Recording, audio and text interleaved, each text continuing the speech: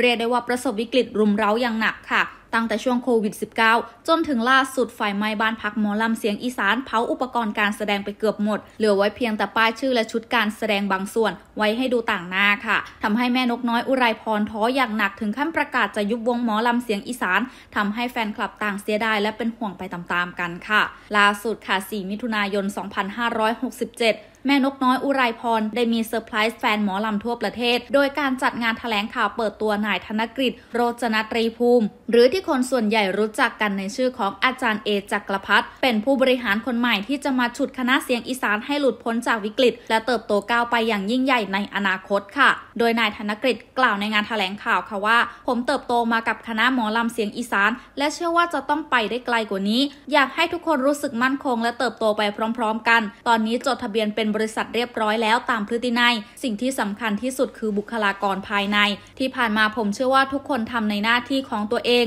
ต้องยอมรับว่าธุรกิจคณะหมอลำเป็นสิ่งที่ใหม่สำหรับผมมากๆ ฉะนั้นเราต้องตรงไปตรงมา ยอมรับให้ได้ว่าอะไรคือจุดอ่อน แล้วนำมาพัฒนาให้ดีขึ้น เราจะสร้างคำว่าก้าวล้ำให้ใหม่ในทุกมิติหรือดูการใหม่ที่กำลังจะมาถึง คนที่จะจ้างงานสปอนเซอร์รวมถึงเจ้าภาพ จะได้รับกลับอย่างเต็มที่แน่นอน ด้านแม่นกน้อยอุไรพรก็ได้กล่าวค่ะว่า ข่าวดราม่าต่างๆ ที่เกิดขึ้นตอนนี้ไม่ได้รู้สึกกังวลเลย คณะหมอลำเสียงอีสานจะกลับมายิ่งใหญ่อลังการอีกครั้ง และที่รู้จักอาจารย์เอได้ เพราะช่วงที่ไฟไหม้เขามาให้กำลังใจ เชื่อว่าไม่ใช่เรื่องบังเอิญแน่นอนที่ได้มาร่วมงานกันค่ะทั้งนี้ค่ะแม่นกน้อยยังเชื่อว่านายธนกฤษจะมาช่วยบริหารจัดการหลังบ้าน ซึ่งเป็นจุดอ่อนของเสียงอีสานมาโดยตลอดได้เป็นอย่างดีค่ะนอกจากนี้ค่ะนายธนกฤษยังได้บอกด้วยว่าส่วนผู้บริหารจะมี 2 คน คือผมกับแม่นกน้อย เป็นการดึงความชำนาญของแต่ละคนมาร่วมมือกัน บุคลากรของเราพร้อม ทีมงานพร้อม ขอให้มั่นใจว่าฤดูกาลต่อไป